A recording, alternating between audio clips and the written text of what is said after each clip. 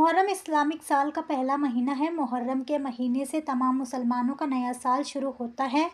हालाँकि मुहर्रम को नए साल के अलावा करबला की जंग और इमाम हुसैन की शहादत की वजह से ज़्यादा याद किया जाता है। इसी महीने पैगंबर मोहम्मद सल्लल्लाहु अलैहि वसल्लम के नवासे इमाम हुसैन और उनके बहत्तर साथियों ने करबला में यजीद की फ़ौज से लड़ते हुए इस्लाम और इंसानियत के लिए शहीद हो गए थे। ये वाक्य दस मुहर्रम को हुआ था। मुहर्रम इस्लामिक महीने का नाम है। मुहर्रम के लफ्ज़ के मायने है इज़्ज़त वाला महीना। मुहर्रम की दसवीं तारीख को करबला की जंग के अलावा और भी कई ऐसी चीज़ें हुई है जो इस्लामी तारीख में ख़ास मायने रखती है। मुहर्रम की दसवीं तारीख को ही आदम सलाम की तौबा कबूल की गई थी। इसी दिन हज़रत यूसुफ़ सलाम को कैद से रिहा किया गया था और उन्हें मिस्र का बादशाह बनाया गया था। इसी दिन कौम आत पर आज़ाब नाजिल हुआ था। इसी दिन फ़िरौन को दरिया में डुबोया गया था।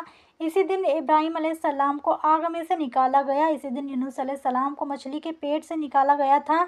इसी दिन ईसा सलाम को ज़िंदा आसमान पर उठाया गया था। इसी दिन नू सलाम की कश्ती जूदी पहाड़ी पर ठहरी।